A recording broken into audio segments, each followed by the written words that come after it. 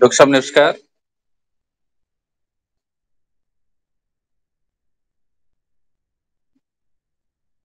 Doctor साहब मुझे सुन पा रहे हैं?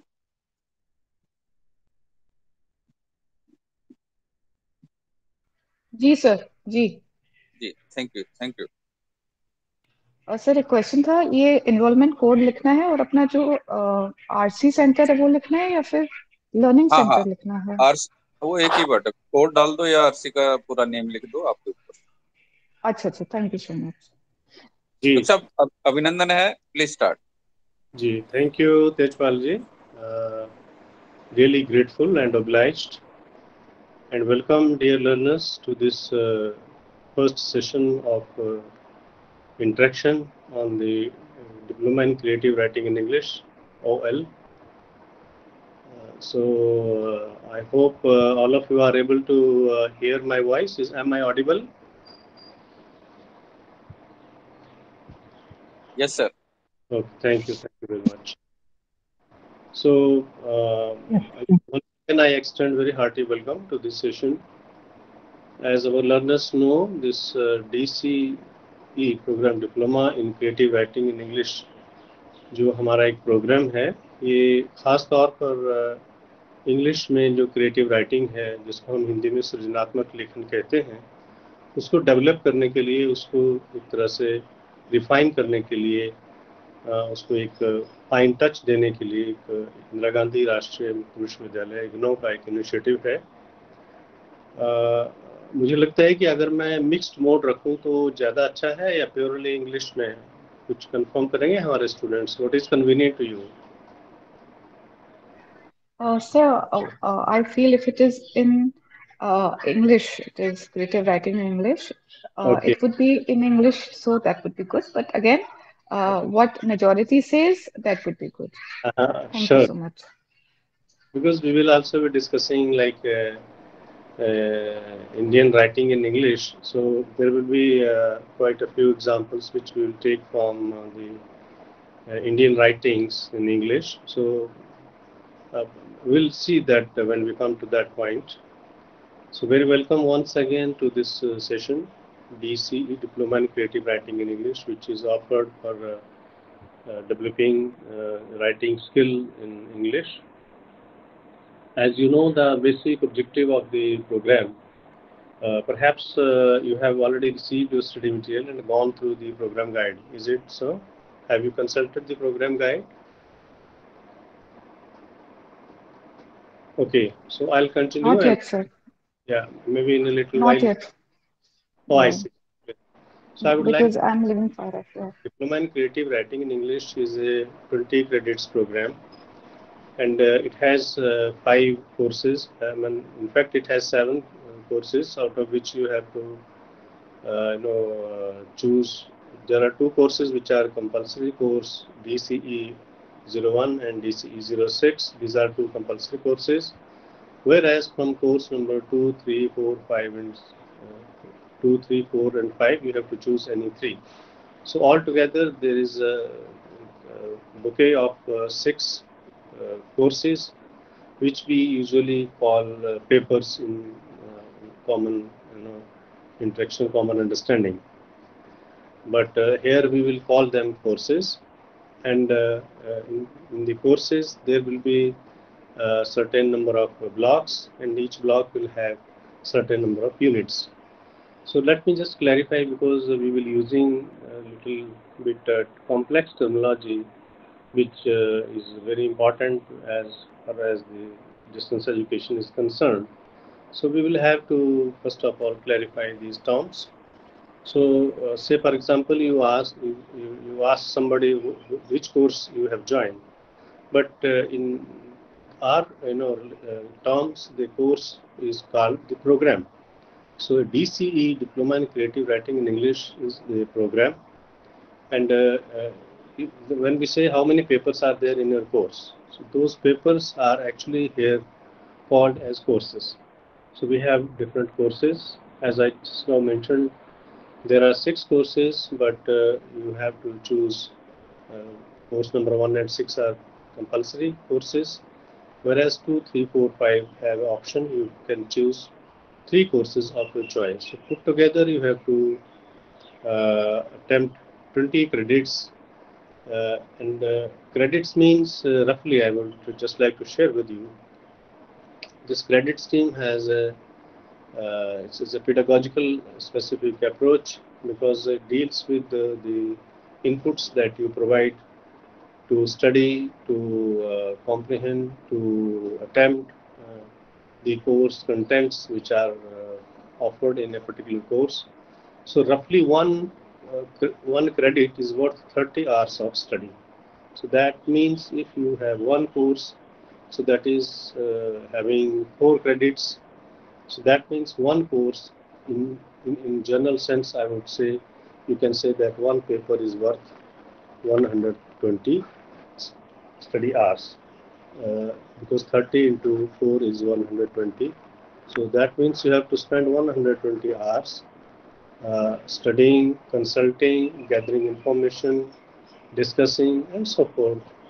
So roughly if you have uh, five courses you can see it is about uh, 600 uh, study hours of program so that much quantum that much time you have to spend but not necessarily that you just spend this time studying all the time, studying all the time.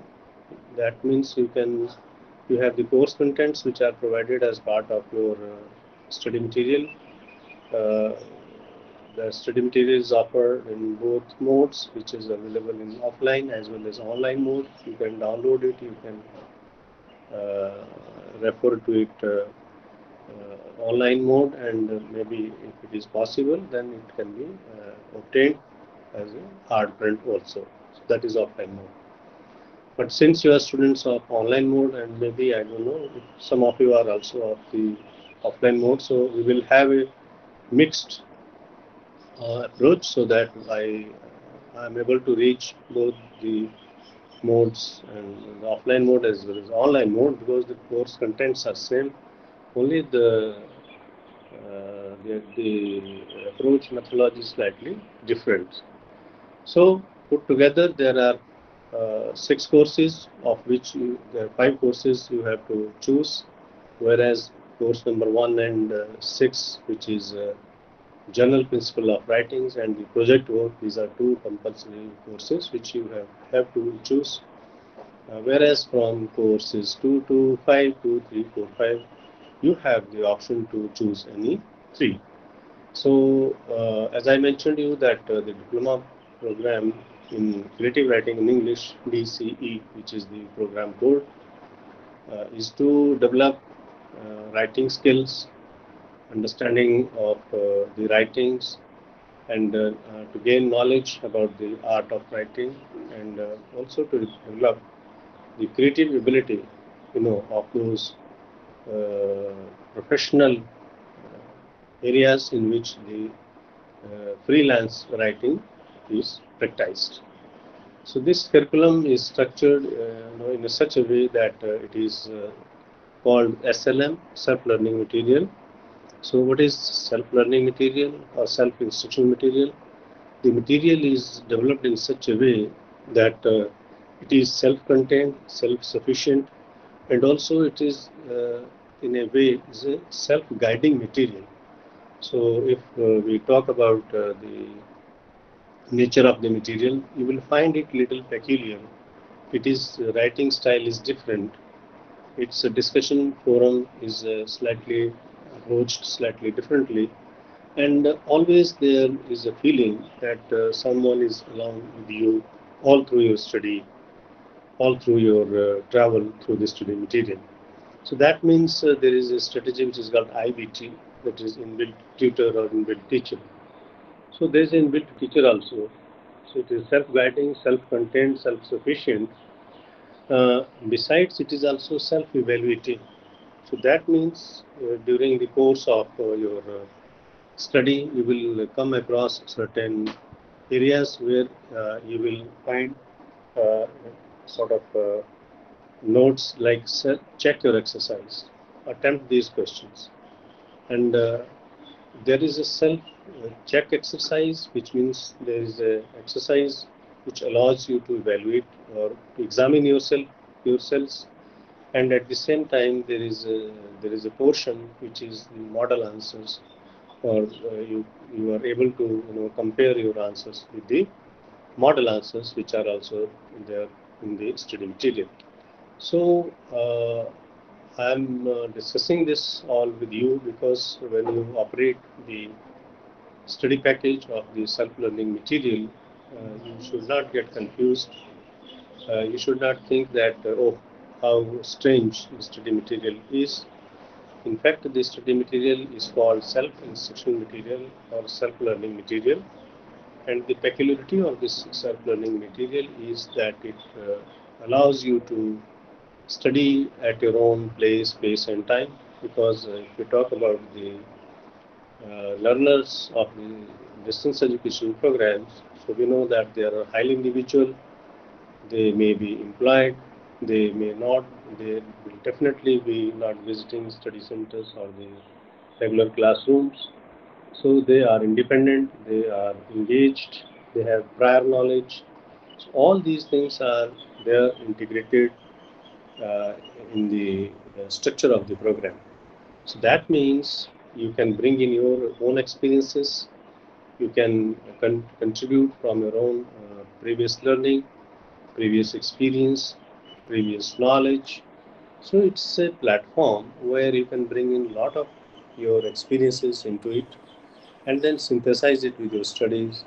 And whenever you attempt assignments or you when you will be writing determined examinations, then you can integrate your own experiences in addition to what you study in the uh, course contents.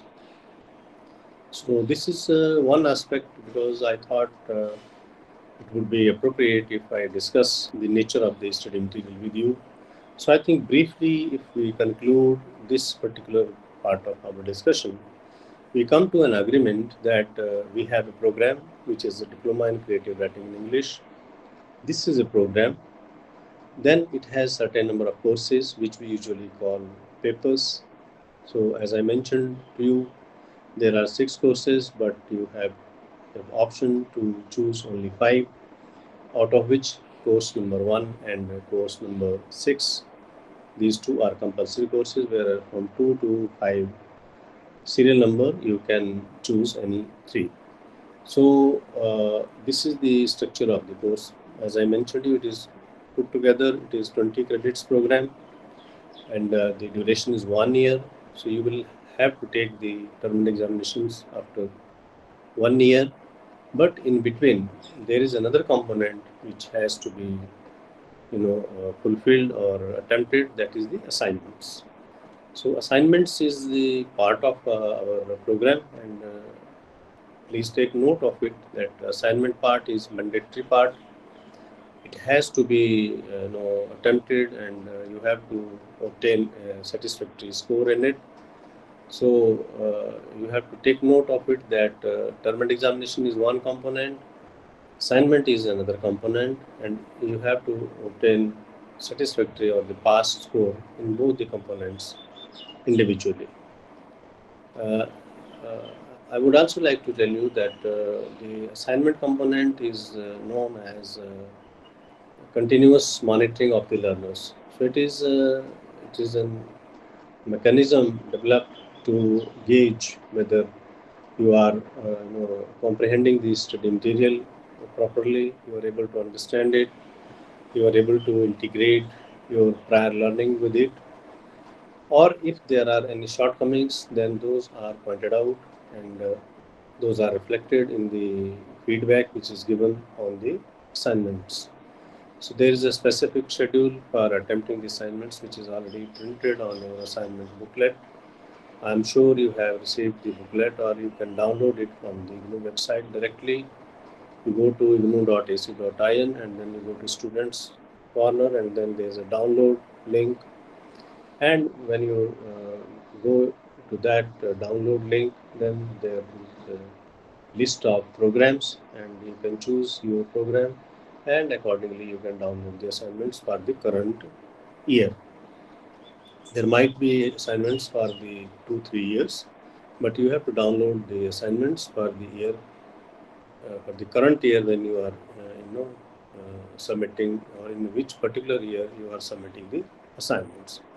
So this is a little bit about the assignments on the term examinations, the program, uh, its uh, credit load, and uh, also the study hours, and uh, choosing the uh, courses out of the given range. I would like to give you a very important piece of information with regard to the assignments and the term examination. You have to keep it in mind, as I mentioned just now, that uh, the assignments are compulsory component, but it's not only compulsory, you have to take note of it and uh, you have to remember it that uh, it is worth the 30% of weightage. Please uh, listen it carefully that the assignment component is compulsory and it carries 30% weightage. So that means your term examination, which will be held at the end of the term, is 70% weightage and 30% weightage is given to the assignments. So uh, my intention of uh, you know emphasizing this particular point is that uh, you have to mandatorily attempt the assignments you have to submit it uh, within the schedule, whatever is printed on the uh, assignment booklet, or maybe you can discuss it. Uh, you know. So uh, yeah, you you got this point. So it's very good that uh, you are already through the information portion. So then we will move to the course structure of the DCE, Diploma in Creative Writing in English. As I mentioned to you that uh, DCE uh, has the program has 20 credits load and it is divided in six courses out of which you have to complete five courses worth the uh, worth 20 credits as i mentioned you that the course number 1 and 6 are compulsory so i will read uh, the uh, list of uh, courses so that we can understand what is there in the courses, what are their nomenclature, what uh, we will be discussing there in the course of our discussion when we come to it. Uh, so DCE 1 is basically the general principles of writing. Uh, while uh, DCE 2 is uh, the feature writing. Uh, DCE 3 is story writing or the story or short story the DCE 4 is writing for media. That means writing for radio and television. The course number 5 is uh, writing poetry. And the course number 6 is the project. So out of these six courses, 1 and 6, these two are compulsory courses. You don't have a choice. But from feature writing, story, writing for media, and writing poetry. You can choose any three, and uh, uh, this way we will have the combination completed. So uh, that is about the range of courses that is uh, provided in the diploma in creative writing in English. Uh, dear learners, as I mentioned you that uh, in IGNOU, the nomenclature of the, the whole process with a lot of technical terms.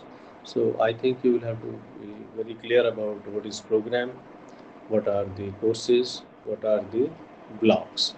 As I mentioned to you that uh, there is a program which is DCE and within this there are a certain number of courses. Uh, you can also in uh, common understanding, you know, take it as papers. And uh, within one particular uh, course, there will be a certain number of blocks. I would like to share with you that in this particular uh, program, uh, we have uh, four blocks in each course, and each block uh, will be having at least four units. So the, the the lowest the unit or the study section is unit and then it goes into making part of block and block makes part of the courses and courses put together are there in a particular program. So we will be coming. So can you please, so can you please repeat once again? If so, please repeat once again because I missed one thing. I don't know where I missed. We we, we, we have a we have program which is DCE. Then we have a certain number of courses within one particular program. So in DCE we are uh, having six courses, but we have to choose only five. Uh, out of these six, one and six, these two courses are compulsory. Uh, we can choose from two to five. That means two, three, four, five. We can choose on uh, any three. So put together, there are five courses. Each course will have four blocks, right? Each course will have four blocks, and each block will be having at least four units. So units are small sections, small, you can say small titles of uh, study focusing on particular points which are uh, which which are uh, you know part of the block. The block is also having certain title or nomenclature. It will be dealing with the one particular section of the course. So while studying, uh, while discussing thoroughly, we will come to perhaps a better understanding of this. But if you just you know, draw a small map, there is a program. Under one program, there will be certain number of courses. Each course will have certain number of blocks, and each block will have certain number of units.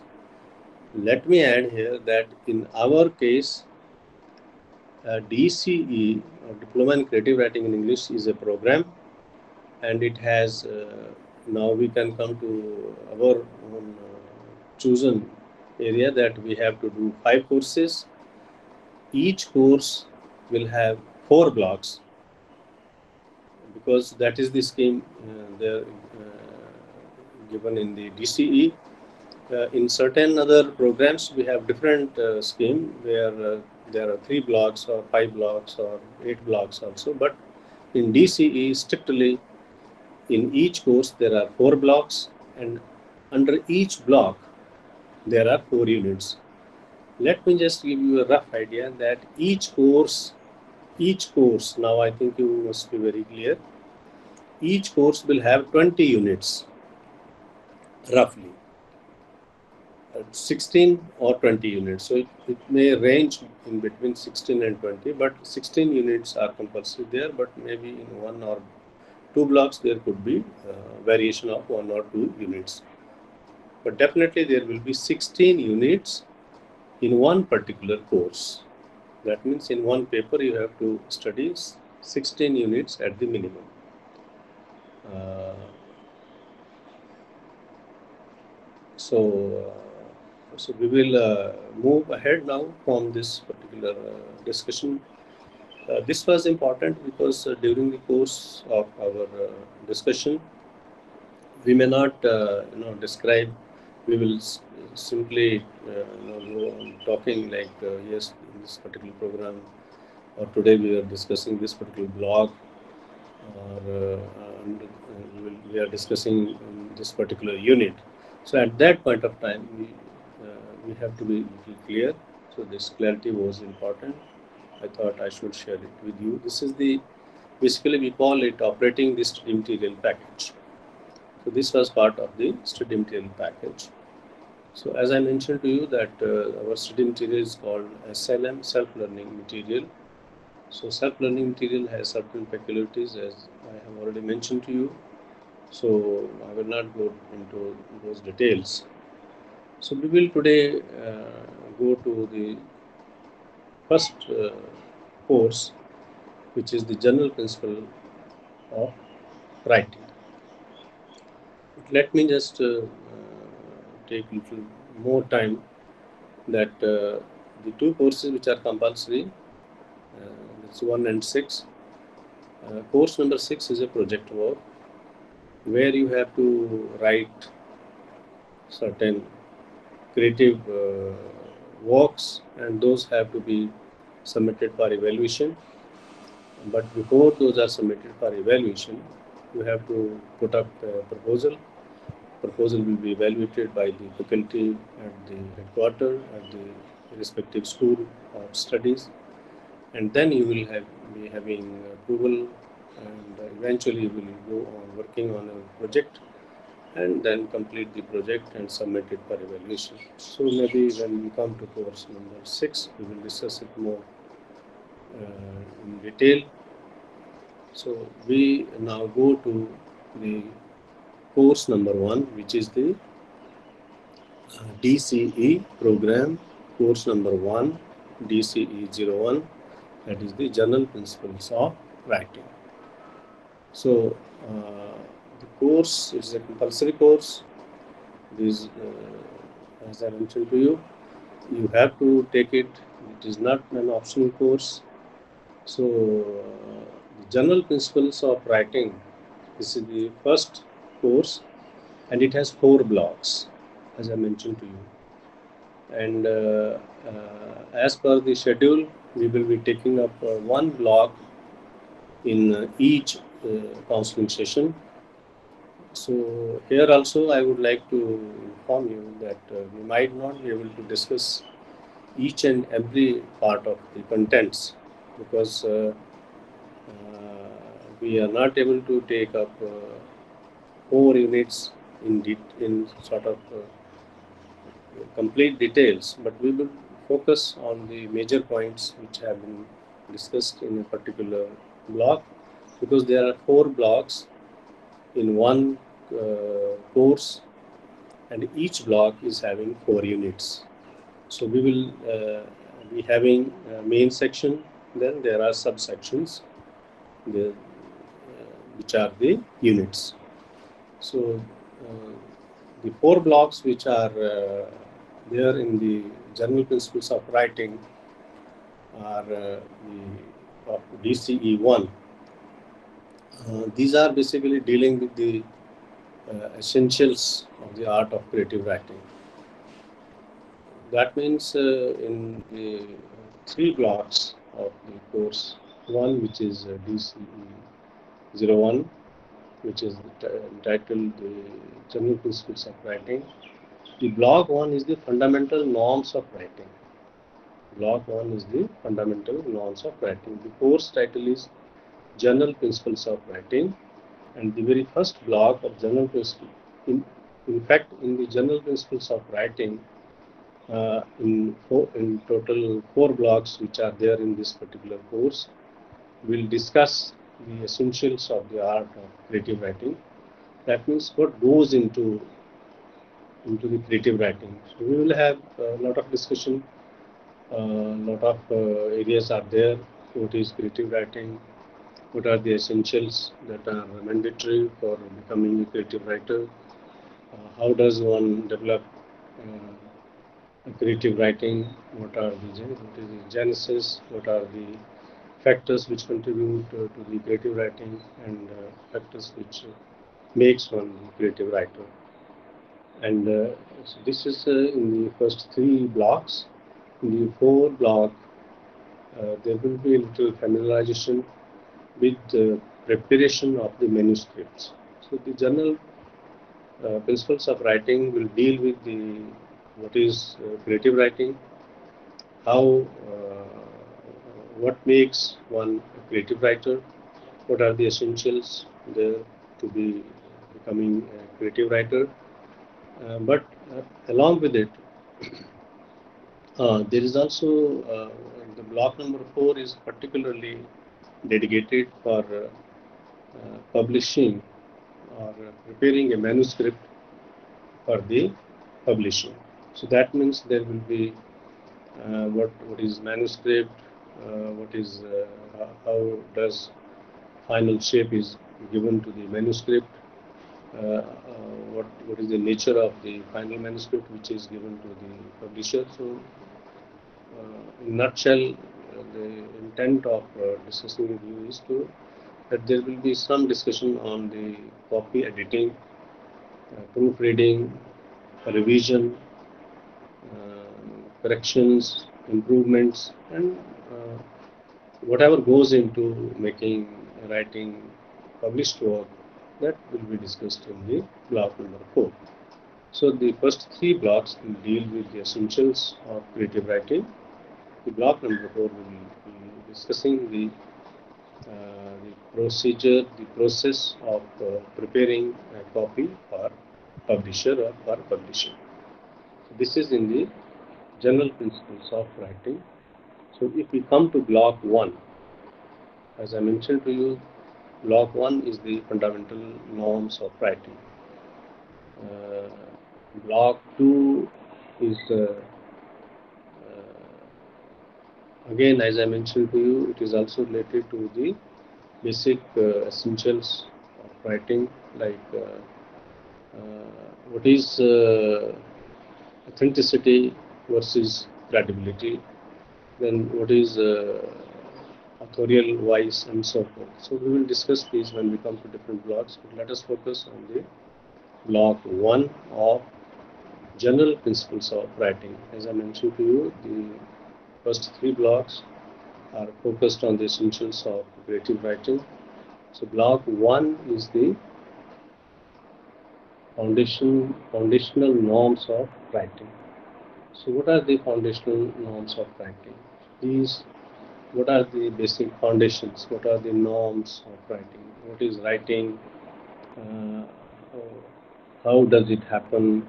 What goes into the writing, and so forth. So we will be uh, uh, broadly discussing the uh, foundational norms, which are very basic requirements of writing, or which are the very basic qualities of a writer, which makes one a writer. So the unit 1, block 1, unit 1. Now I think the, the hierarchy is clear. We, the program is uh, DCE. The courses are DCE 1, which is General Principles of Writing. Uh, within the course, as I mentioned, there are four blocks.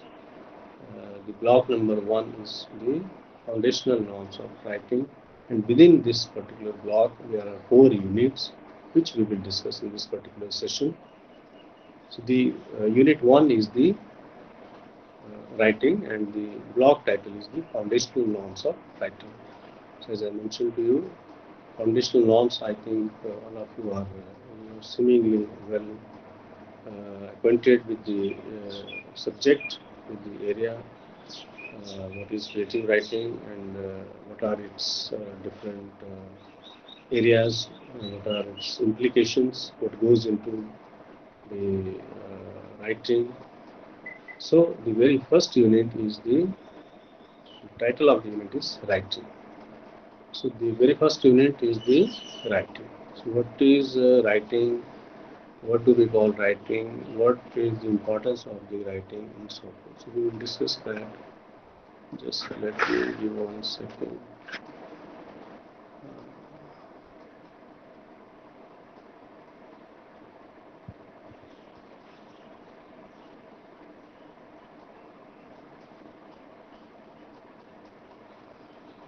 Uh, another aspect uh, I would like to discuss with you is uh, uh we call the study material, we could not call it study material. I am using the term uh, perhaps a little illegally. The uh, correct term is SLM. The self-learning material that is provided to you is presented in a in a typical style to you. If you have gone through some of the blogs or if you have just personally uh, looked into the study material or uh, the uh, unit scheme, you would have found it uh, it is slightly you know uh, typical. Typical in the sense that uh, it is it is provided in a specific order. This is the structure of the unit so if you look at the structure of the unit, uh, you will find uh, the structure has a hierarchical order. There is a uh, introduction, there are uh, main themes, there are sub themes, uh, there are then there is a self check exercise, then there is uh, the model answers, then there are references, and there are a lot of other uh, like uh, terminology and uh, so forth.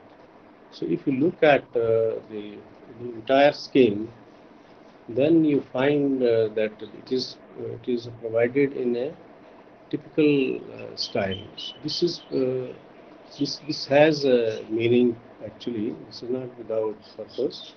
The, the purpose is that uh, the material should be presented in such a manner that it should be self-explanatory.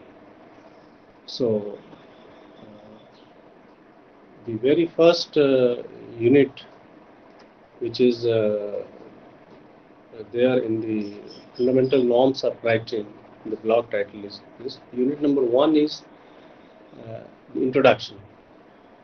The, the uh, title of the chapter is, uh, or the unit is itself the introduction. Uh, and introduction you will find in the structure also. So there is a word structure. So what is the structure of the unit? Structure of the unit is a typical scheme of uh, presenting the contents. So if you look at the structure, the structure uh, describes uh, scheme of the contents. The very first uh, uh, part of the structure and it is numbered in a specific way so uh, it, it, it, has meaning actually. If you look at the 1 0 1.1 1.2 1.3 1.4 and then 141 142 that means the it is the unit number 1 of a particular block and uh, as you go to unit number 2 the scheme of uh, numbering will change. It will be 2.0 if you go to unit number 3 the scheme will be unit number 3.0 like that. It will go on increasing as the number of units progress. So the very first uh, part of the structure is aims and objectives.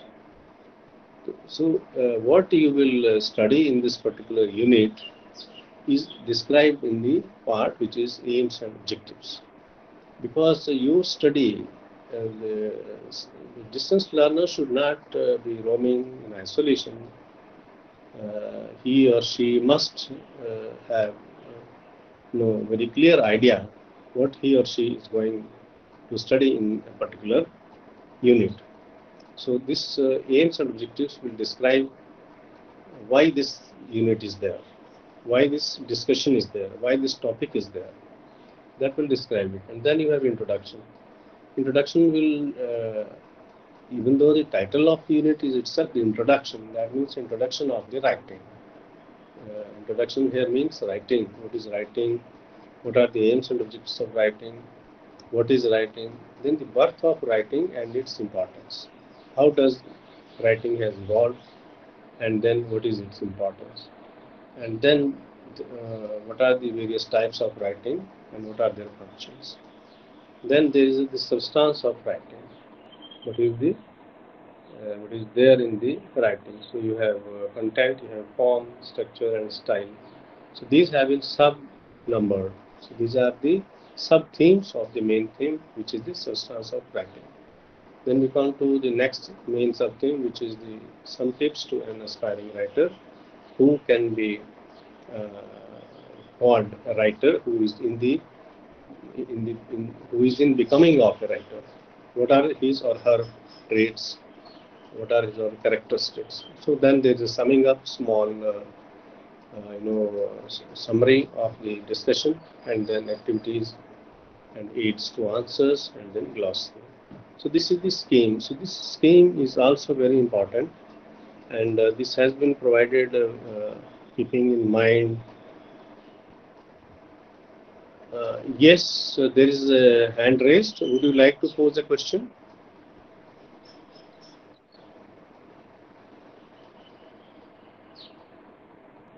Okay, so we will continue.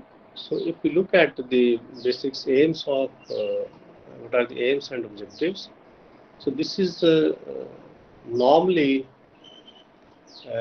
you know, to, uh, to describe uh, what the learner will be getting out of, uh, you know, when one study this particular unit. So that means uh, if you go through this unit, you will be able to learn about the the writing, what is writing, what goes into making a person creative writer, what are the various parts of uh, creative writing, and so forth. So aims and objectives is basically uh, the strategy whereby the contents are built in such a fashion that uh, you have some idea as to after studying this unit uh, what is uh, what abilities what uh, addition to the information or knowledge will be there with the learner. Then the next part is introduction. We will not discuss all this in the subsequent discussion. This uh, I am uh, specifically discussing with you the scheme of the unit or the structure of the unit because uh, you will find a lot of uh, in every unit you will find uh, this particular structure part you will find introduction and then you will come to the main themes of the discussion or the uh,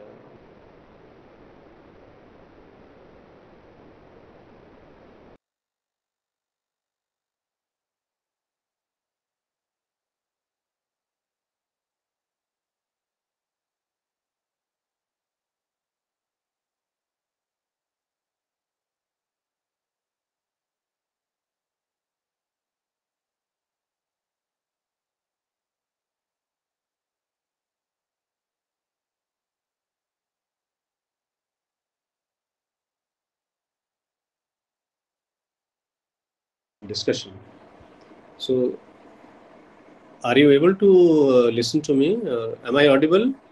Yeah, now say you're audible, but for a fraction of second, it uh, I mean, audio was lost. Absolutely, the screen was still. Yeah, actually, uh, someone was calling me, so I did ignore it. So that is how I didn't uh, okay. Find, get my voice. So introduction is uh, usually is, is generally uh, linkage I would uh, like to tell you that uh, the whole scheme is to give is to create a kind of face-to-face environment. Because when the teacher goes into classroom when the teacher say yes yesterday we studied this thing or a few days ago we discussed this particular chapter we had this much of discussion and so forth. So today we will discuss this and then i hope then we are we will be able to understand this so it's a kind of uh, ambience of a classroom situation because as I mentioned to you that uh, the self-learning material is self-contained, self-sufficient, self-guiding, uh, self-directional, self-examining, self-evaluating. so these are uh, peculiarities of the study material that is provided to the learners. So this is part of that scheme. So that is how we have aims and objectives. Then we have the introduction. What is the introduction? So now come, let us come to our point, which is the what is the writing. So it is the introduction to writing primarily. It is an introductory unit to what is writing. So all of us uh, know that uh, we are uh, human beings uh, and uh, we have innate tendency to share our experiences to express ourselves. So there are a lot of uh, ways and means to express uh, you know ourselves. So that means uh, we need some means some ways. We have languages then we had uh, certain other means where we didn't have languages. Then we had inscription on the stones and so forth. So a lot of uh, such uh, means and ways are there in the different societies. Each society will have its own kind to express, to communicate to the other members of the society or to interact between societies and so forth. So there's a long history of this, and uh, there are different patterns. So uh, eventually, man came to a kind of uh, phase where he or she started, you know, making faces, uh, raising hands, indicating. A lot of uh, means were there. So writing is also uh, one part of that process. Though it came bit late, but it was part of that uh, that, that zeal, that innate desire to express. So introduction part is basically to go into slight um, background of the topic, and then to link it with the with the topic that uh, there is in the uh, hands for discussion. So uh, we know that uh, one of the numerous patterns to express the humankind had at certain point of times. Writing is one such means. Uh, we know that writing has revolutionized the, the societal behavior uh, because uh, all other means were limited, they, they were restricted, they didn't have the continuity and so forth. But when the writing came, uh, progressed, developed, we know that we have a history, we know that we have uh, uh, continuity, we have uh, them preserved. Then a lot of information was stored, and uh, we are able to continue with uh, this information, with this knowledge and we look forward to preserve it for the future generations. So, uh, if we uh, conclude it, we can say that uh, writing is something that gives uh, that uh, stability to the thought process, and it is a means which allows the humankind to preserve its ideas, notions, uh, achievements uh, for the future generation. So writing is a tool or an important mechanism which links the present with the past with the future. So we know that uh, if there are gestures and postures, it is not possible to preserve them to continue with them. They are there momentarily and changes very rapidly uh, as we move on with different societies, move on with the pace of time uh, and uh, interactions. So all these are uh, gesture, postures, uh, oral uh, narrations or orations. These are specific to the to a particular group of people or maybe a small section of people or maybe a small fraction of society. But when we have society, uh, uh, kind of entity which is uh, society, then there are certain features of the society, there are certain characteristics, and one of those important characteristics that a society must have or a society is usually having that is it has its own writing process or writing stream. That means it has its own script.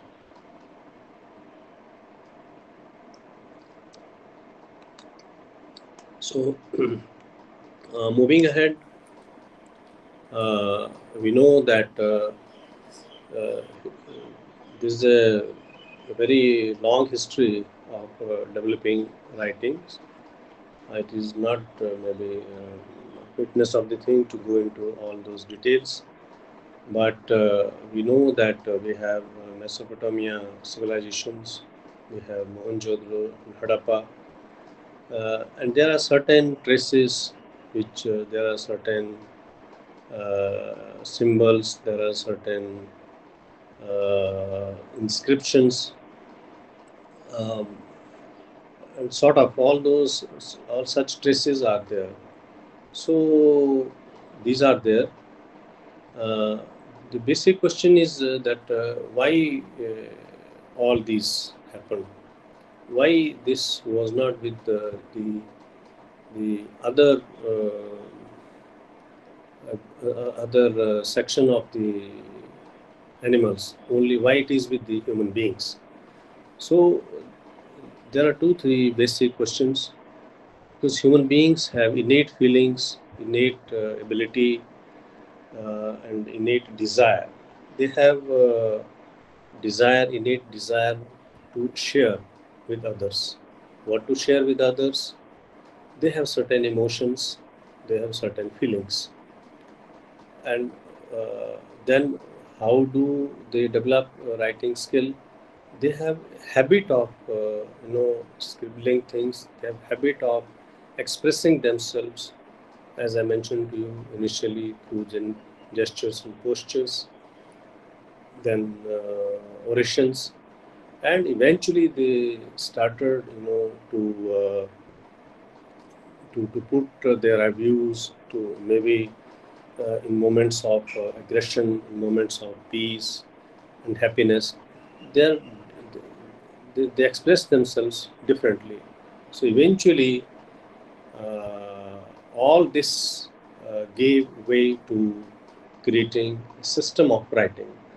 Perhaps it, it, was not as developed as we see today the system of writing because uh, a lot of science and a lot of thinking has gone into it. But historically, if we see, uh, this, these were the causes because it was the innate desire of humankind to, uh, to express so uh, which gave birth to the art of writing or the notion of writing. So, uh, as I mentioned to you, uh, what are the functions of writing? What are, what are the functions of writing? The basic functions of uh, writing uh, uh, are, are primarily, you know, two one is to pass on the information. Another function of the writing, or maybe eventually will become genre of writing, or we call it types of writing. Uh, as I mentioned, that uh, usually uh, we have creative writing and non-creative writing. But what is the difference between the two? If we, if we take them as uh, types of writing, then uh, these two types of writings have very specific objectives. If we call the uh, writing as creative writing, that means it has uh, basic human cravings to express oneself. That means it is primarily dominated with feelings, emotions, desire to share exchange. But if we go into the other type of uh, writing, which is the non creative writing, that is majorly to, to inform, to, uh, to pass on the knowledge, and at times maybe to entertain. But if one expresses, say, for example, we are talking about the creative writing, or uh, fiction, or poetry, or for any other kind of uh, creative writing, you know that uh, poetry is for uh, the self of the poet. It is the poet's own will and wits that he or she writes the poetry. One doesn't write poetry to inform or to pass on knowledge or to pass on information or to share a piece of knowledge.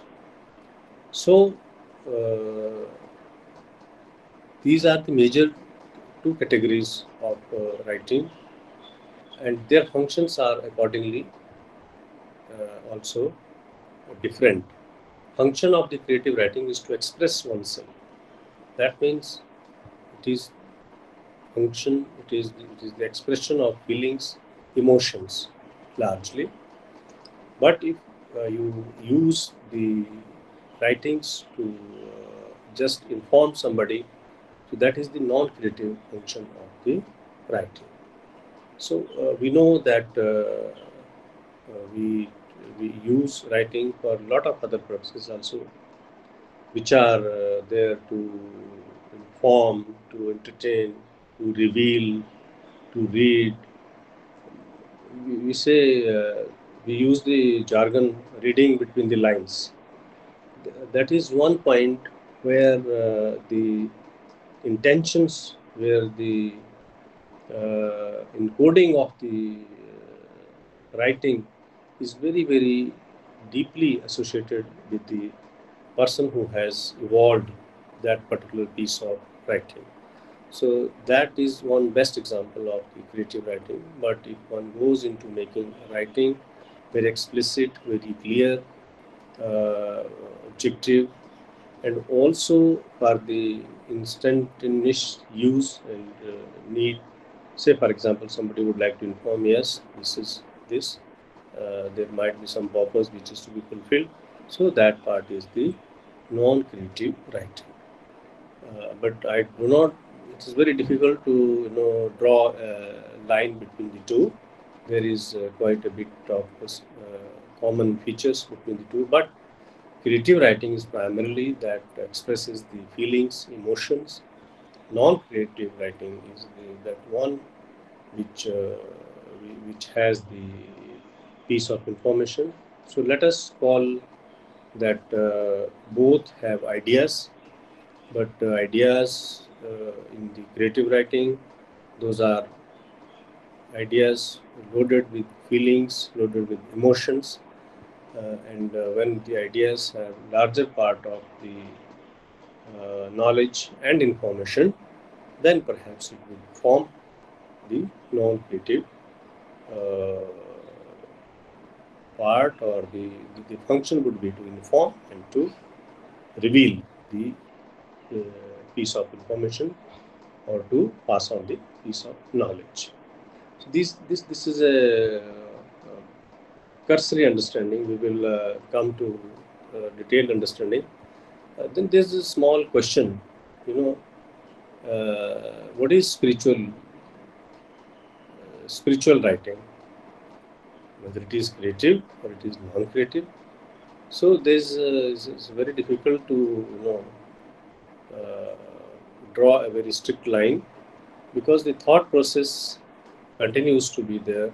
As the thought process is thought process continues, uh, there's uh, in the spirituality there's a love of divinity, uh, and uh, there are moments of deep serene feelings those are reflected in the writing. So what should we call it?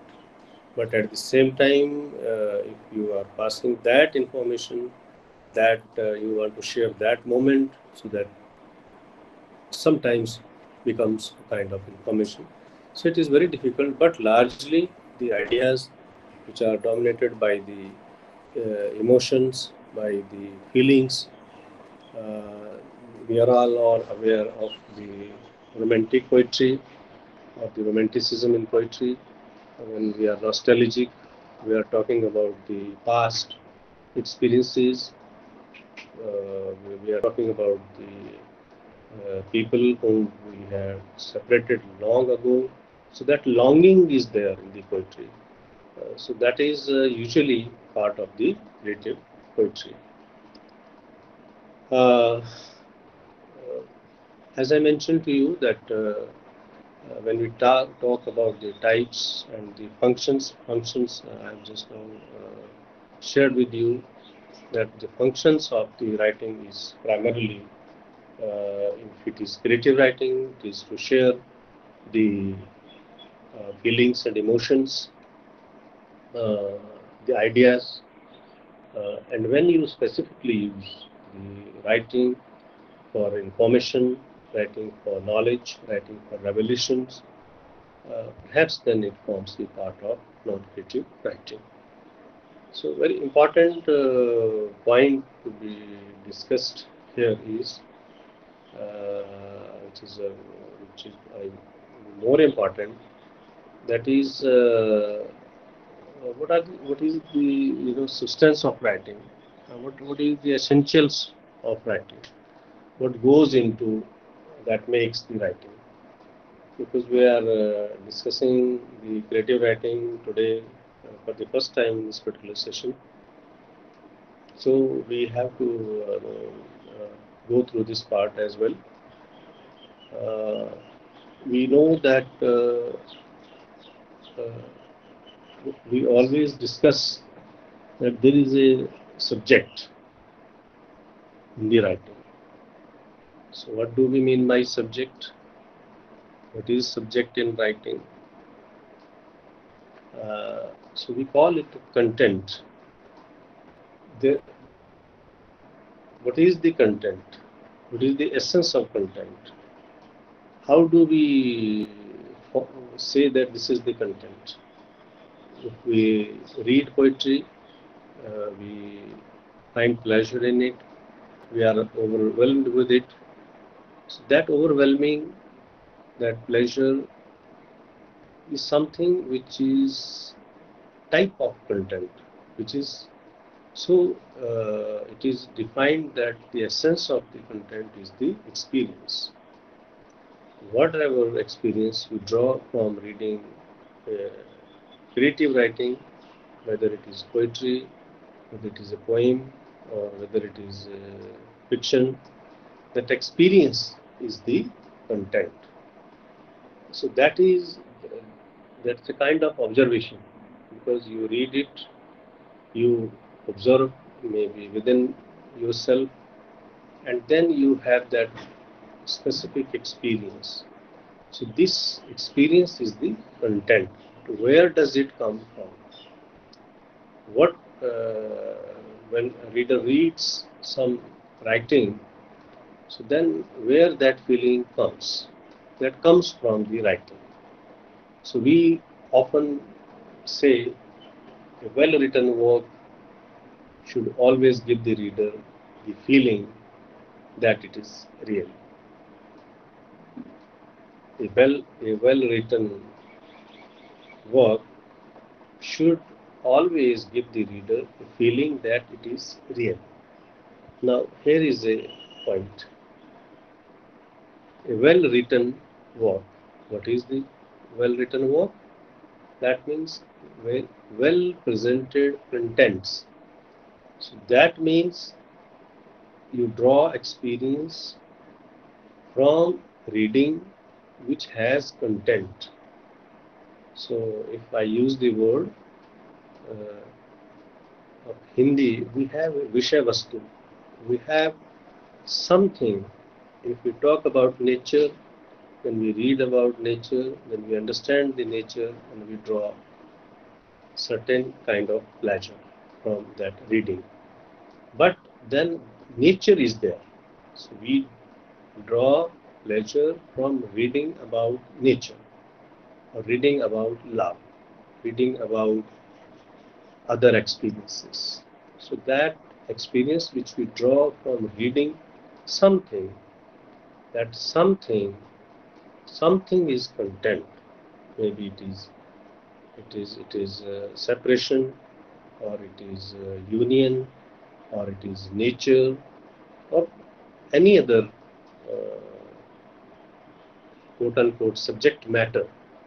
So the content is subject matter which is written or very well written as a work then it gives the readers a feeling. And what type of feeling? That it is real, it is not fiction. So we distinguish between fiction and the real. So uh, in fiction we know that it is fiction, but then there is also subject matter content. So that is the content.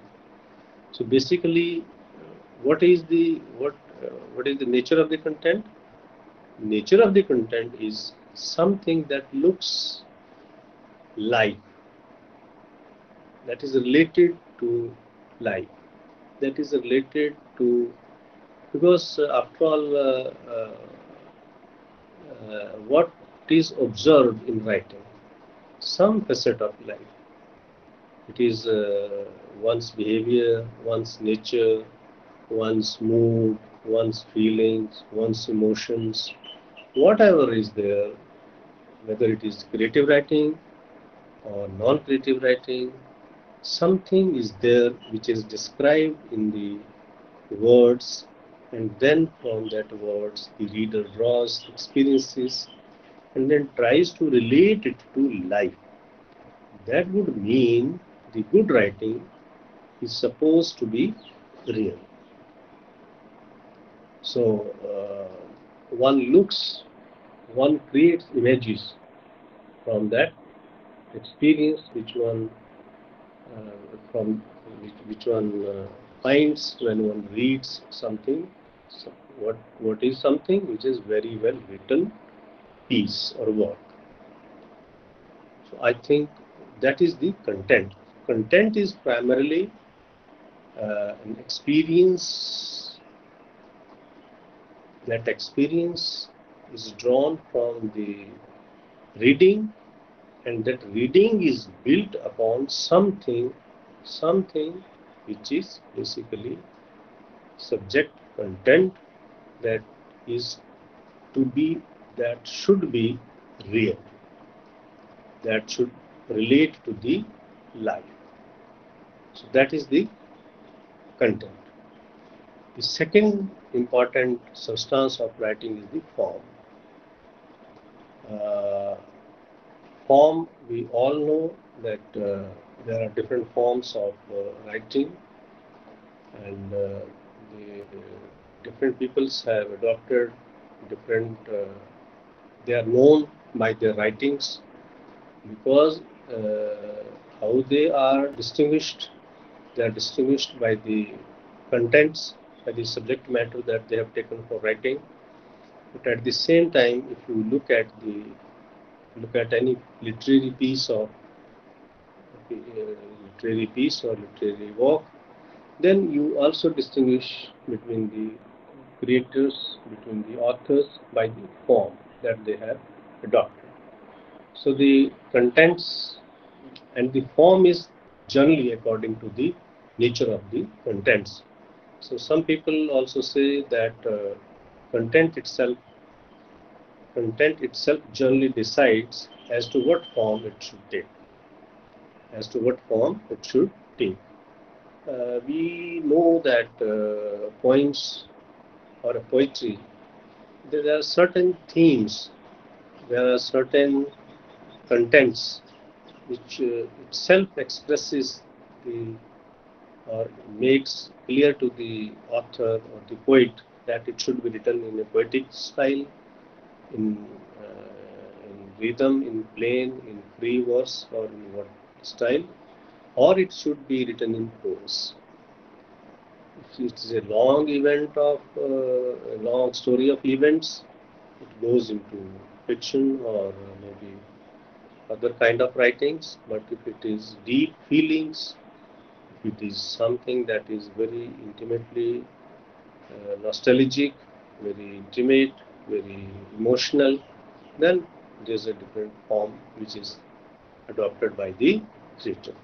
So we know basically form is the uh, primarily uh, two types. One is literary form and another one is the structural form. So the literary form is uh, one which decides the form on the basis of the contents.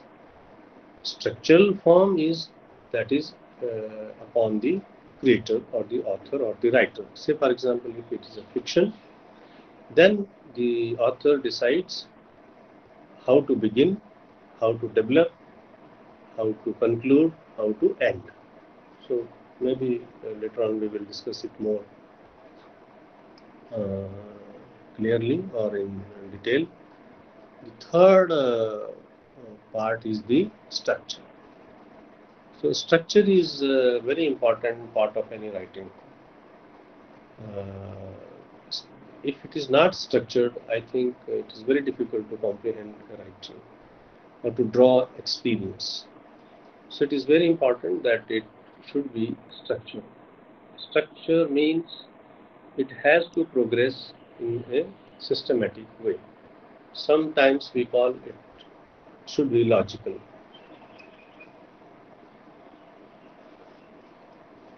Uh, but uh, certain other uh, conclusions may be drawn from this statement. So sometimes it is very difficult to create a logical structure for uh, creative writings. Though yes, it is possible if you have uh, prose, you have fiction, essays, or other kinds of writings.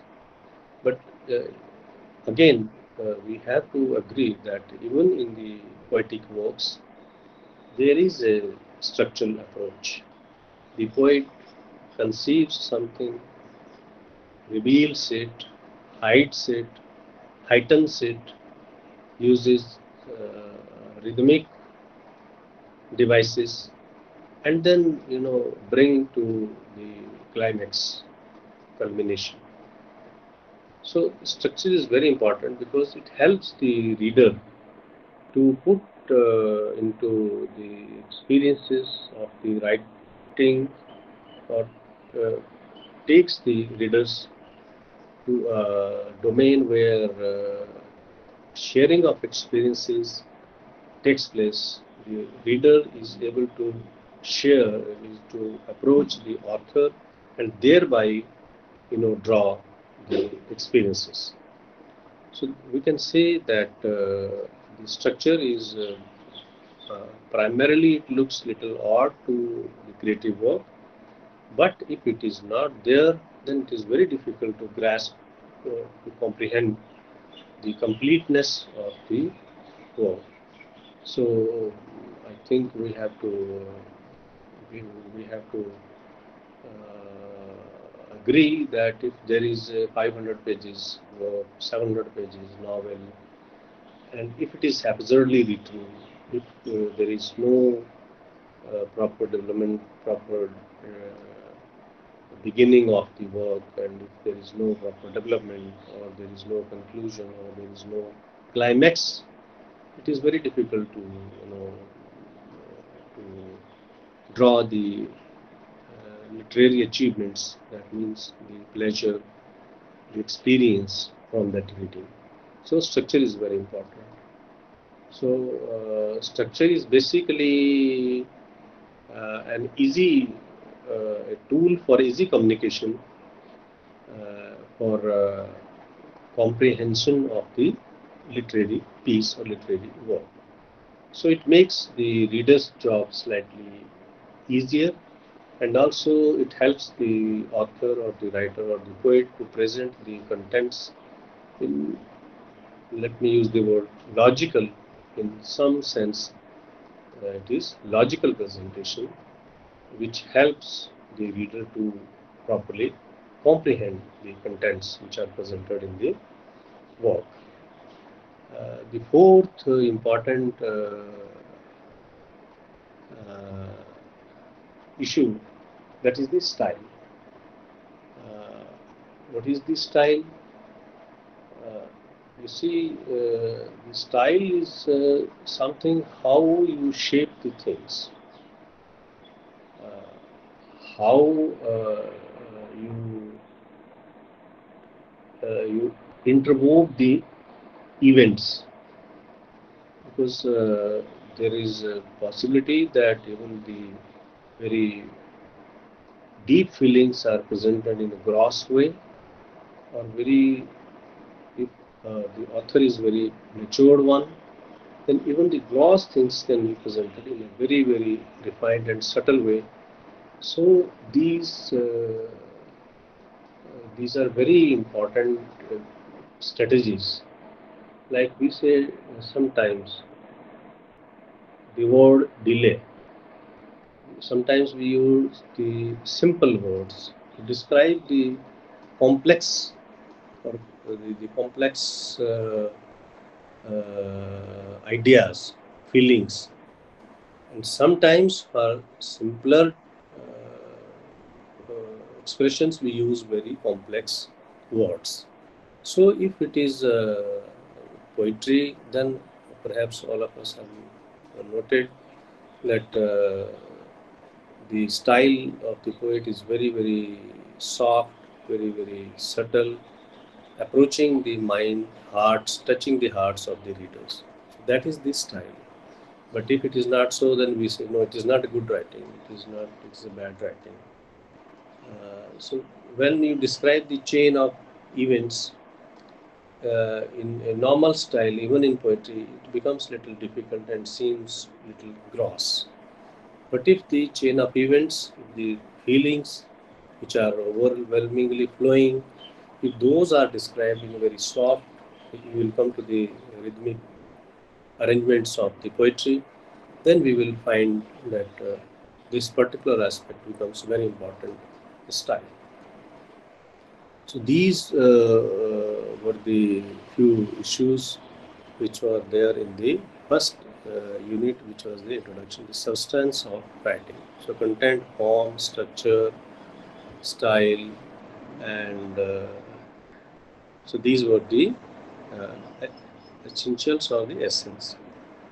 Uh, then this uh, very first unit also discusses certain other points, which are the, some tips to an aspiring writer. Because we are uh, today just opening up the discussion, so it is a little too early to go into the details. Uh, so here we are discussing the issues or the subject matter which is provided in your self-learning material also gives a kind of introductory introductory approach. It, it, it, just lays down the path. So it says that uh, what should be done for writing. What should be done for the writing. I belong primarily to the media, so a lot of people ask me a question how should we become broadcaster? How do we become media person or the broadcasters? So I use the term you listen, you listen and listen. So they say no, we listen. So I use the metaphor which is the which is in Hindi.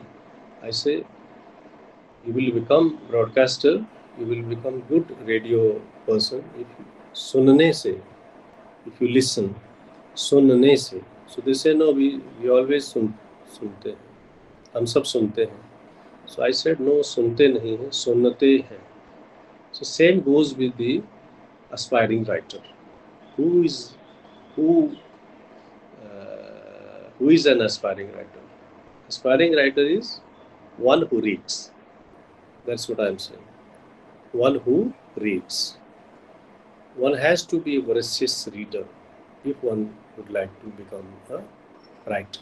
This is very important. The more we read, the better ideas, the better structure, the better expression. Uh, we have uh, uh corpus of words, we, our vocabulary enriches. So the very first uh, condition of a good or a writer in the becoming is that uh, one should read a lot. Because if one reads, then one becomes informed. One is informed, one is inspired, and then one is able to express. But one has to be a voracious reader. The second uh, very important tip is the uh, is, is to uh, is to give some time. See, uh, if one reads and start writing, that is not possible. Uh, one has to allow the experiences to ripen. That means uh, one should uh, share the experiences that are uh, drawn from the writing, uh, from the readings. those should be discussed First of all, those should be internalized. Internalization of reading. What is the internalization of reading? That is the deep understanding of the experiences that one draws from the writing. And then perhaps when one internalizes, then a bunch of experiences remains a small amount of experiences. Those are uh, largely the gross experiences merges into the deeper experiences and then very few uh, remains.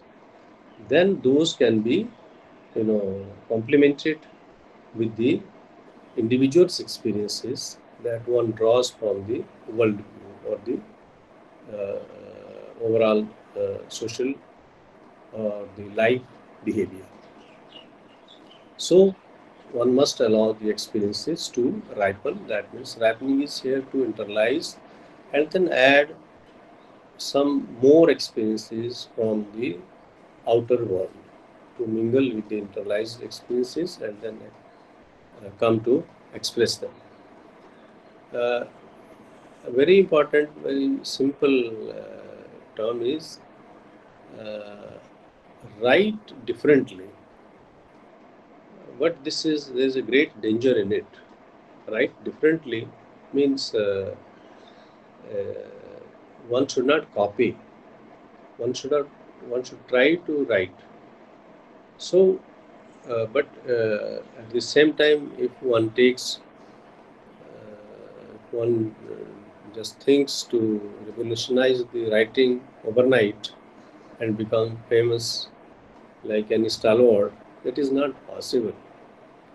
Therefore, it is very important that uh, one must write differently because that is what will eventually make one a good writer with the individual identity.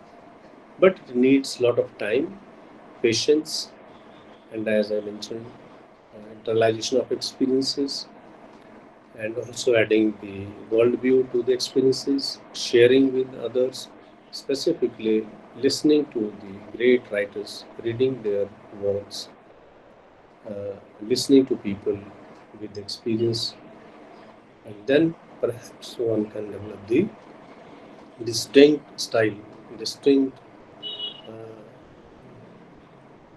narratives to you know relate uh, to express the feelings or to uh, write differently a very simple uh, mechanism, a very simple uh, tool to develop writing habit is to start with your diary. This is one very simple exercise. And if one uh, starts writing diary then uh, one is able to uh, record everyday's experiences uh, whatever reading we do the, those experiences can also be recorded. And eventually uh, when one continues to write so uh, uh, day by day the refinement comes into it and sometimes very interesting anecdotes gets recorded and maybe at certain point of time when one feels that yes i can write i can at least i can begin writing then all this diary notings all these scribblings becomes very important because it takes one into the memory lanes uh, and then one is able to express or to narrate them perhaps uh, in, in, one's own individual style uh, maybe in more refined manner so uh, briefly to conclude this particular unit is to is that uh, writing is not a short journey. It takes uh, very long to uh, to become a writer, or if I may say, perhaps it will not be too uh, wrong to say that uh, even to begin writing will take some time, some patience, some hard work. So uh, one should perhaps not jump upon writing uh, from the day one. Uh, there might have been certain cases where, certain uh, we will come to cliches, we will come to the complex writings, we will come to uh, the uh, ambiguities which we try to you know, put into writing, but uh, those are not the strategies. Those are not uh, the approaches which should be adopted by the writers in the making. Means those who would like to become writers, they should avoid these things, slang, they should not use um, jargon, the language which is which is having a lot of cliches, pre and post interpretations. Such words should not be used. So, uh, primarily uh, hard work, patience, a lot of reading, internalization of uh, the experience drawn from the reading, discussion, all this goes into making a good a good writer or a person who is in the process of going to be a writer or author. So this was the unit one. Uh, we will uh, have a small discussion on unit two also, and then, if possible, we will discuss maybe uh, five to ten minutes.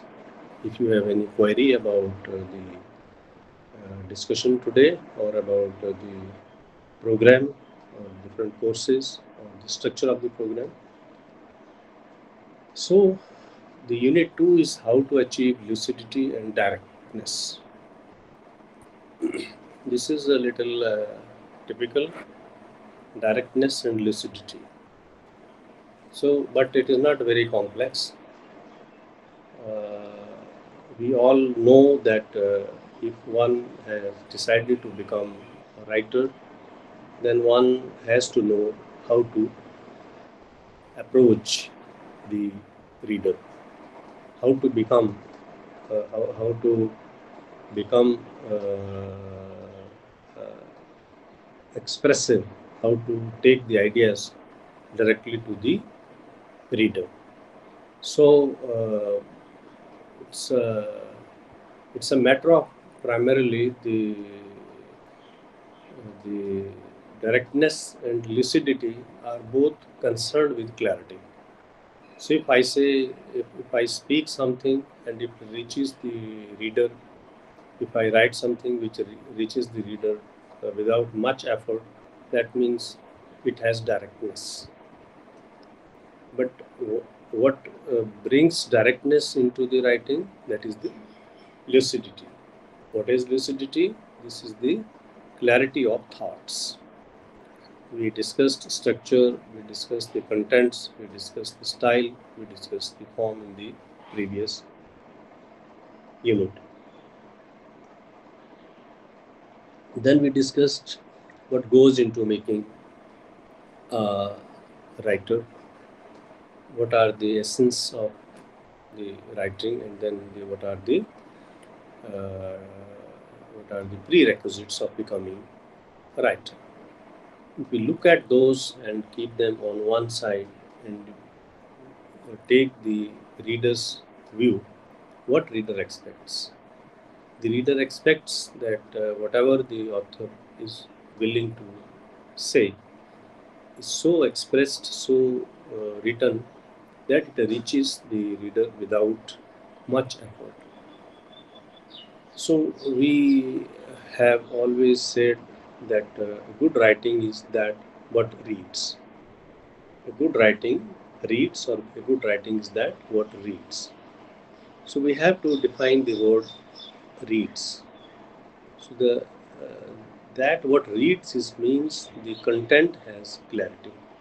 So if one is able to reach the readers without much effort, then uh, there is uh, one can say there is clarity. So what is clarity? This is interesting. What is clarity? What are the dimensions of clarity? How do we define clarity? The word is clear. So then if the word is clear, that means there is clarity. So clarity is something when it is very clear with the author as to what he or she wants to make clear. Whether it is emotions, our own emotions, his own feelings, whether it is worldview, that means whether it is a piece of knowledge, whether it's piece of information.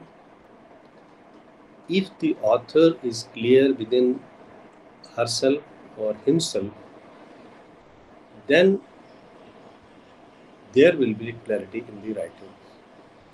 there won't be any problem to understand that kind of writing. So that means the author has to decide beforehand as to what he or she wants to make clear. If that, that means what? What is that? Means what concept is to be made clear. If it is clear with the author, then there is a possibility or there is a, a quality of clarity. The second point, uh, which is very important, how does clarity develops? What is the mechanism to develop clarity? You see, clarity comes with a lot of uh, experience, with a lot of uh, study, with a lot of uh, education. Education alone will not make a good uh, author, but of course, it is one of those essential conditions that if one is well read, it is likely that he or she might have the clarity of thoughts. So, when we call clarity of thoughts, that means there is well, uh, there is a good foundation of education behind that thought and there will be clarity when the, uh, the knowledge gained say for example uh, someone would like to write about nature you see we all talk about nature but one must understand the moods of nature, the shades of nature, the intricacies of nature. And all this will come with uh, broad reading, but at the same time, one must also study, educate oneself in the domain in which he or she is trying to enter for writing. Uh, say for example if someone is trying to write upon the judiciary uh, or the constitution of india or the history of india or the psychology or say for example the history of uh, literature how would one write clearly or how clarity will be there in the writings until and unless one has written one has uh, studied about the uh, not only Indian history, but uh, the world history, history of the different nations, and then history of our own country or the Indian continent, and then Indian history. Then there will be parallels, there will be comparisons, there will be contrasts. All this require deep knowledge which comes with the education. Second part, uh, as I mentioned, first is to uh, to be very clear about the subject or the content uh, upon which one would like to write.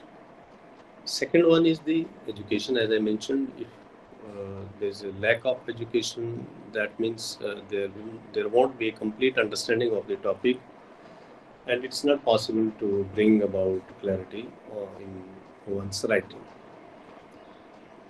Uh, the third important aspect is there has to be, you know, uh, concrete definition of the subject.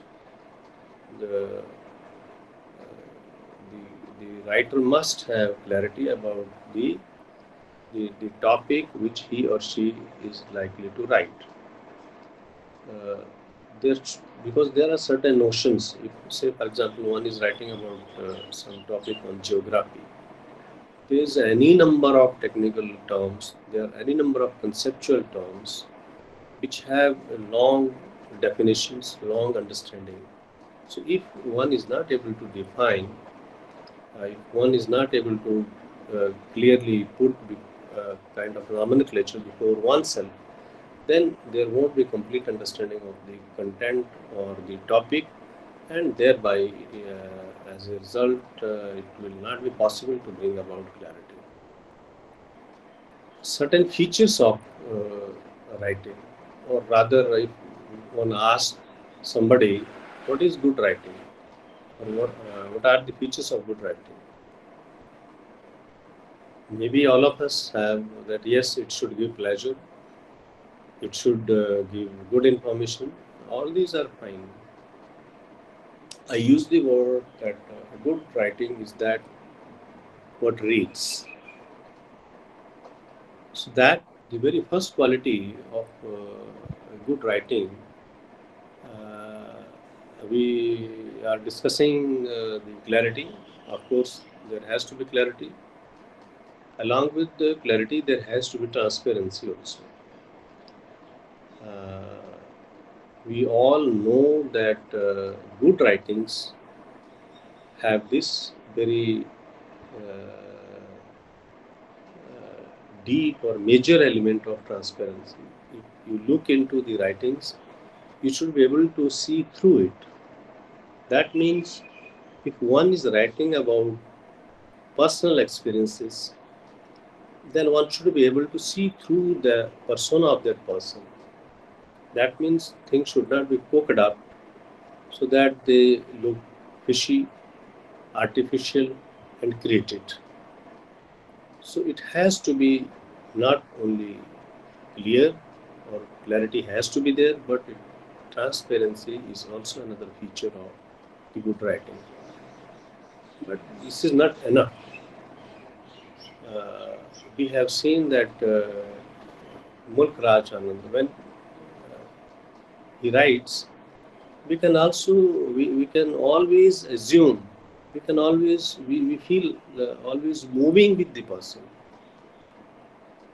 when we read uh, Wordsworth poetry we feel we are part of the nature. We are moving into the laps of nature. We are there in the highlands we are there in the deep uh, the valleys. And we feel we are with the nature and we do not have any haze. We do not have any uh, certain barriers in our range of imagination. What, what is more important than clarity and transparency in a good writing is that it should have, it should be engaging. What is engaging? Engaging is that it, it must be engaging engaging means that the reader should be able to integrate himself or herself with the writing with the should be able to travel along with the author or the writer or the poet or the fiction creator. That means the imagination of the reader should find some lead and then that lead would be there only when it is written on the basis of deep understanding of the subject matter and having clarity and transparency in it. So this is very important. Uh, another uh, another issue which is uh, I always feel that this is very important. We try to uh, say, uh, no, my experiences not only better, but they are real. But uh, we use the term internalization, internalization of reading. When we internalize reading, we within our own selves we try to you know uh, post-mortem it. We try to uh, see what is uh, reality, what is non-real.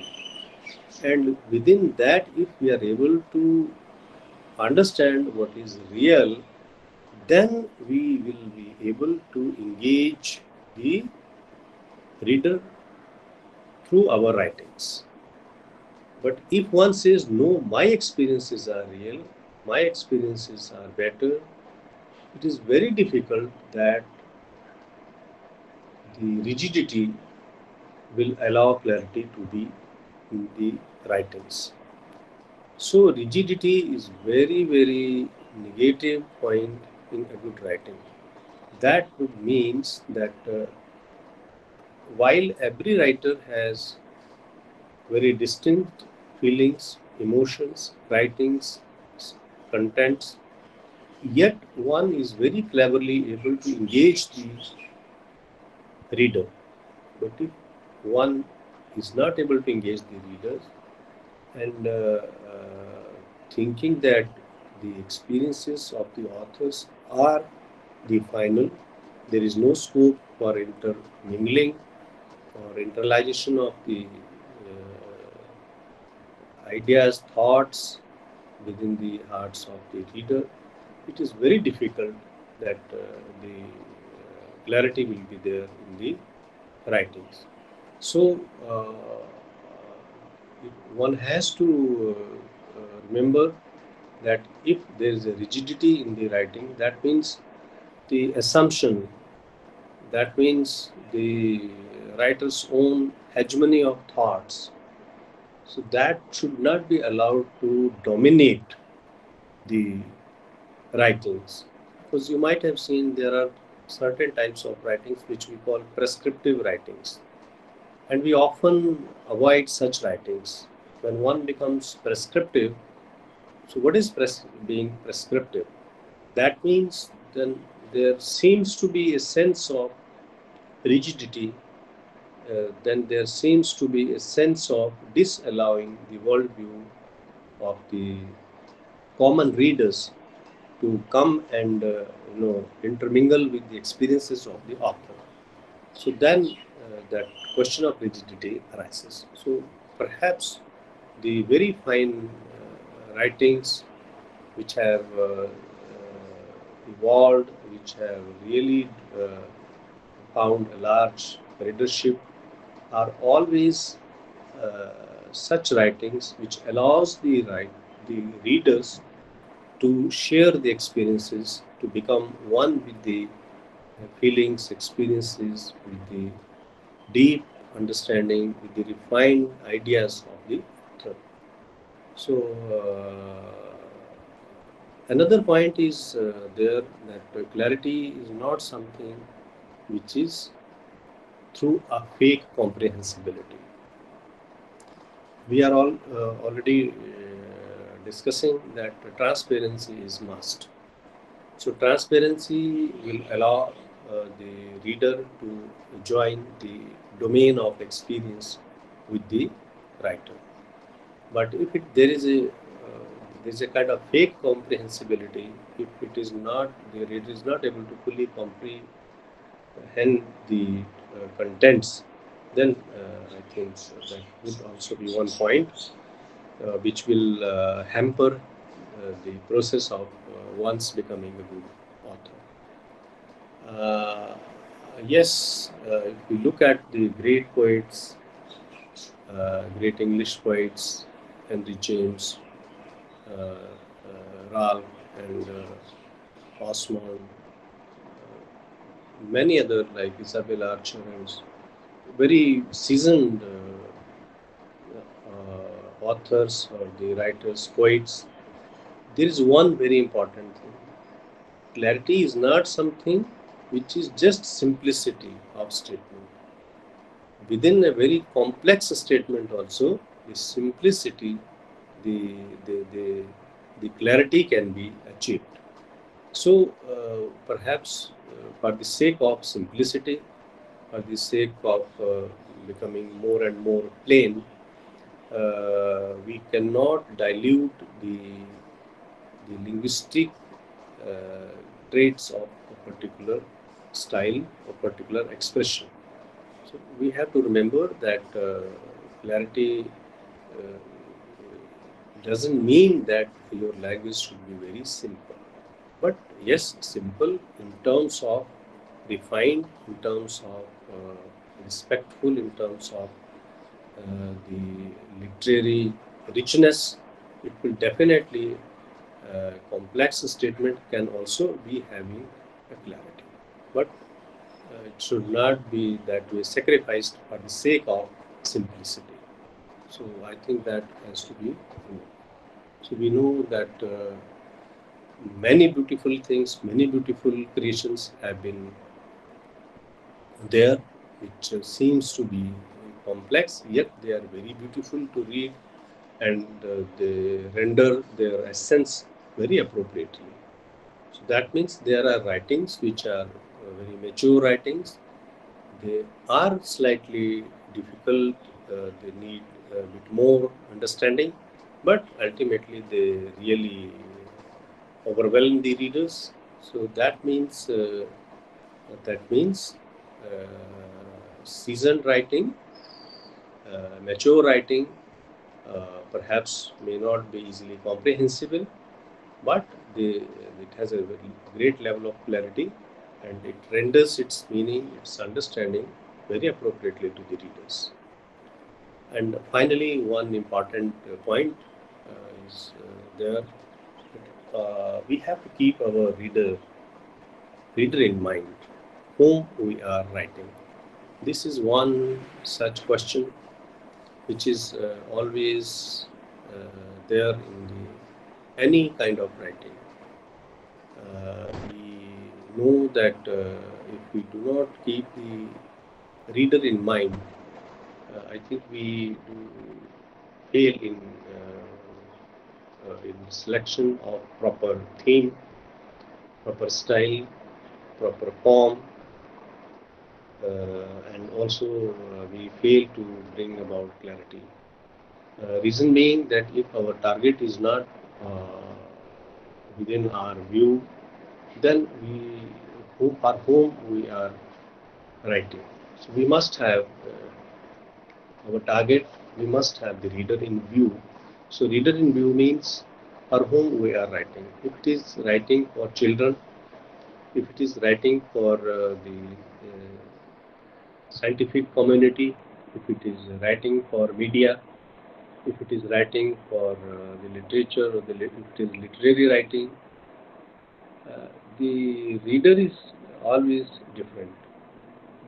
Of course, uh, scientist may be a good uh, lover of uh, poetry, but when we are uh, doing scientific writing, we are writing for science, we are writing for children, we are writing for uh, someone else, then uh, it is very difficult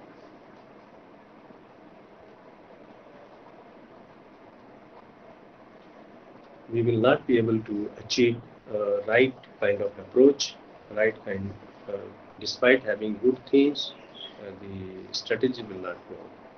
So I think uh, some of our learner is uh, saying that uh, we must conclude this session. So we are almost nearing 1 p.m. We have few more issues to discuss, but we can discuss them in the coming sessions. I would say that in the two three minutes we can uh, discuss if there are certain issues, certain points, or uh, uh, all of you have clarity, then maybe we can wind up the session. But I would like to have maybe a couple of minutes for the interaction on the today's discussion. So now you are open for the discussion. Any questions?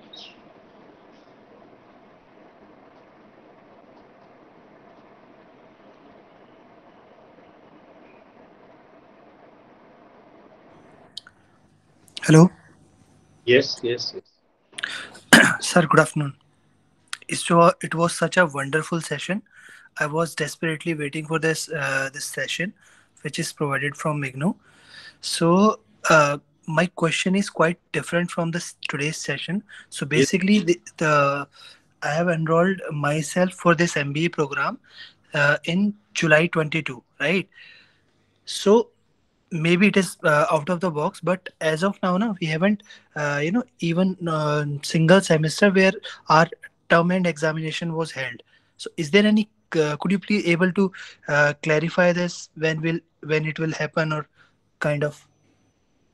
Uh, i welcome your question and we have colleague from the regional center recording the proceedings and uh, if uh, you come to the next session, definitely they will answer it. Because this part is handled by the colleagues from the regional center and somebody is definitely listening to what you said.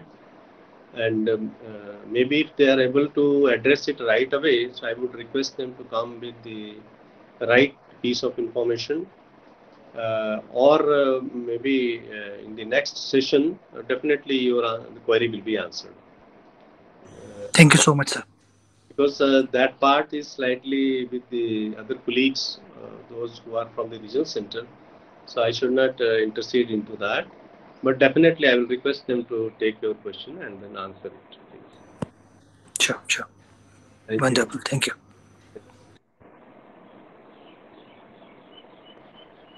Yeah. Sir? Yes. Can you hear me? Yeah, yeah. Um, yes, sir. Uh, I would like to get something very clear. How do we differentiate between clarity and transparency? Yeah, yeah. You see, uh, uh, clarity is, as I mentioned, uh, that uh, clarity is something when you have uh, deeply thought over what you want to clear.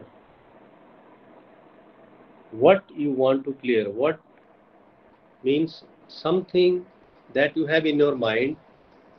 If that that which you want to clear is clear in your mind then the clarity will come. So that is something that is something which is uh, always with the respective author. Because you never know uh, about what one is talking if one is talking about nature, there are hundreds of shades of nature. So, what one would like to make clear should be clear within the mind of the author. That is one. Second part is you ask transparency. Transparency is primarily when the writing is uh, presented to the reader, the reader should be able to see through it. I use the word good writing is that what reads. So what reads means uh, uh, most often you uh, might have also realized those which are very good uh, readings, very good writings, we all they always flow, and we we read them, and along with that we keep on flowing. We we, we find ourselves sort of swayed away with the experiences that are there interwoven in the writings. So transparency is primarily honesty. Transparency is honesty and clarity clarity about what one would like to make, uh, what one would intending to make clear. So that what is the question? So that question is a respective question with each and every author. What one would like to write upon. Primarily this is what. Your subject matter rather, if we grossly interpret it, one should be very clear about the theme, about the subject, about the matter upon which one would like to write. And the writing uh, has to be, of course, very clear. But transparency is honesty, basically. It is honesty. That means if the writer is honestly sharing uh, his or her own ideas, not uh, overloading it with too many of uh, the fake experiences, fake narratives, fake fakeness should not be there in the uh, description of uh, the subject matter. So one is related to the clarity about topic, another is related to the honesty of the expressions or the writings or the explanation.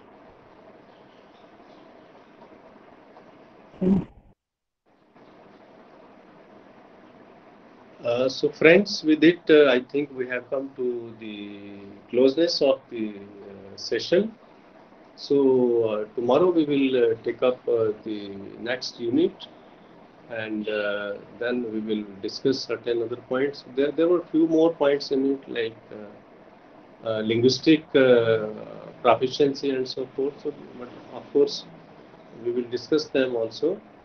Uh, tomorrow we will discuss uh, another topic which is uh, authenticity versus credibility. So we will continue with it as the question just now. I mean, some one up a small question about the clarity and transparency. So it will build on the authenticity and credibility. What is credible and what is authentic and what is the relationship between the two.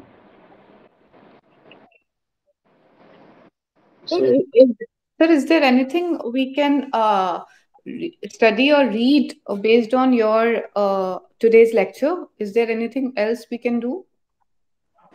Uh, yes. Because I have not received any study material hard copy yet.